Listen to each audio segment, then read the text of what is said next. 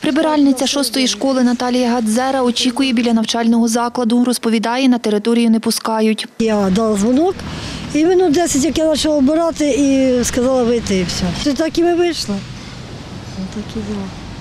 Яка то мені треба класи мити, коли ж я буду ну зараз поки не можна. Директор Хмельницької спеціалізованої школи номер 6 Сергій Ткач розповідає, евакуювали дітей та працівників закладу через повідомлення про замінування. Повідомлення зазначено 13.30. О 10.40 десь так стало відомо. Дітей евакуювали. Евакуація зайняла десь близько 10 хвилин.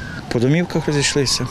Хто із старших сам пішов, а хто з початківців, то е, за периметр у нас є заклади, які нам допомагають. Ми там дітей розміщували, і батьки при можливості забирали дітей. За словами Сергія Ткача, вибухівки не виявили. Сьогодні школа не працюватиме. Як розповіла старша інспекторка з комунікацій Хмельницького райуправління поліції Людмила Берестовська, на місці події працює слідчо-оперативна група, вибухотехніки, кінологи, надзвичайники та швидка. З приміщення школи евакуйовано е, 724 дитини, е, а також 96 працівників школи. В подальшому буде вирішуватися питання про внесення відомостей до єдиного реєстру досудових розслідувань за статтею 259. Це завідомо неправдиве повідомлення про замінування. Е, Зловмиснику е, передбачає покарання е, максимальне у вигляді обмеження волі терміном до трьох років. Людмила Берестовська каже, за останні 10 днів у Хмельницькому це третє повідомлення про замінування. Як розповіла телефоном речниця обласного управління Служби безпеки України Людмила Рябчук, з початку року повідомлення п'яте. Служба безпеки України